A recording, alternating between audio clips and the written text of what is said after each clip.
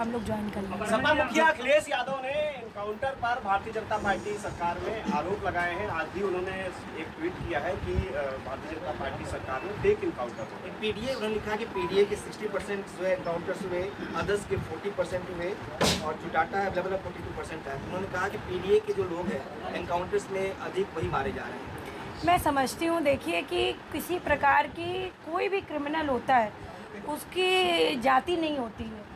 अब आप ये देखिए कि कितने सारे जो आतंकवादी हैं, वो मुसलमान हैं। तो इसका मतलब जो है, भैया पूछ उधर से रहें तो कहाँ से सामने देख लें?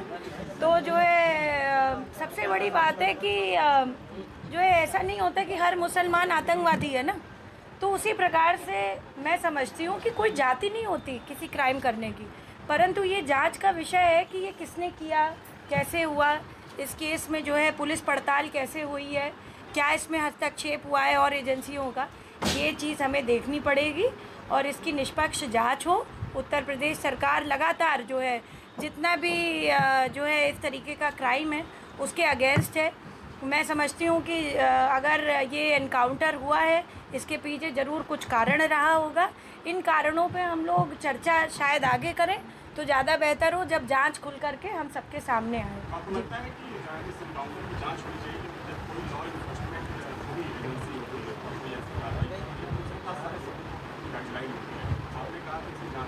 नहीं, मैंने ये नहीं कहा। मैंने कहा, ये जाँच का विषय है, ये जाँच में चल रहा है ये। एनकाउंटर अगर हुआ है तो इसके पीछे कारण रहे होंगे ना।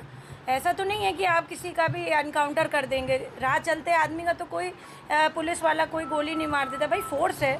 वो हमें प्रोटेक्ट करने के लिए बनी हुई है। ना कि सरेआम जो है लोगों का मारने के लिए। ऐसे तो मेरे साथ कितने सारे पुलिस वाले, इतने सारे जो है पुलिस वाले सड़कों पे हैं। मुझे लगता है पुलिस तो मैं तो पुलिस नो और पुलिस पे काम करा है। तो असली जो है हमारा गार्जियन तो पुलिस है। क्योंकि रोड सेफ्टी से लेकर के हमारी निजी सुरक्षा जो है सब कुछ पुलिस के हाथ में है। तो ये जाँच क्यों हुआ, कैसे हुआ, ये एक रिपोर्ट हो सकती है, पर ये जाँच मुझे लगता है उत्तर प्रदेश सरकार के जो पुलिस विभाग है, वो बड़ा मुस्तैद है, बहुत अलर्ट है, और ये जो भी हुआ होगा वो जाँच परख करके ही हुआ होगा। ऐसा नहीं है कि किसी को ऐसे ही वो कर दिया गया होगा। अखिलेश यादव का ने ये सवाल उठाया है कि जाँच देख कर एनकाउंटर होता है। देखिए मैं तो आज जो है महिला आयोग की जो है शपथ लेने के लिए आई हूँ और अपने हर मुद्दे पे मैं बोलती हूँ। मुझे लगता है कि इसका जब पूरा निकल करके आए आप लोग भी जो है, मुझे लगता है सभी लोग खोजी पत्रकार के ही तरह से हैं। एक जो है, कहते थे, बड़ी अच्छी कहानी आती थी टिनटिन तो आपने सुना होगा Tintin was a very famous adventurous journalist and he use to portray सारी जितनी भी मुझे लगता है कितनी हमने बचपन में पढ़ी हैं ये कहानियाँ। तो आप लोगों का भी काम है, हमारा भी काम है। समन्वय के साथ हम लोग काम करें और जो है, महिला आयोग के बारे में अभी बात करें। जी। के मैंने इस पे ऑलरेडी बोल दिया भैया। नहीं नहीं कोई र्यूमर नहीं है। है।